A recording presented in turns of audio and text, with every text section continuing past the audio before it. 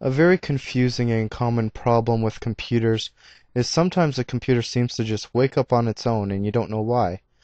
This is actually because your NIC card is able to turn on the computer if it detects activity. Windows by default will have this option enabled. This allows remote access from other locations so you can access your computer while you're not at it. As soon as the computer NIC card detects activity, the computer, boom, turns back on. So in this video, I'm going to show you how to turn it off so it won't do that anymore.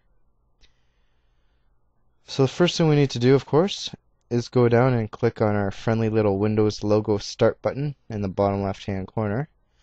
And then control panel, that's where we find all the goods.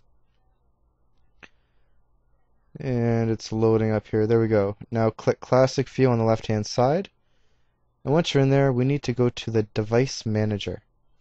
Now when you double click Device Manager, you might get a user account control window. Be sure to click Continue on that, okay?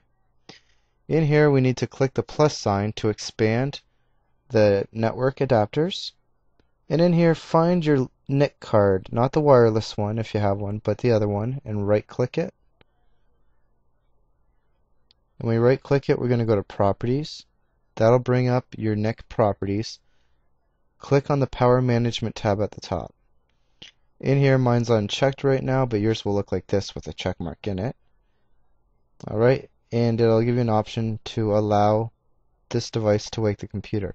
Just uncheck that box, click OK, close out of everything, you're done. Your computer won't mysteriously turn on anymore, and you won't be so confused. Be sure to subscribe to my videos I'll be adding new ones often, and watch future ones for tips and tricks.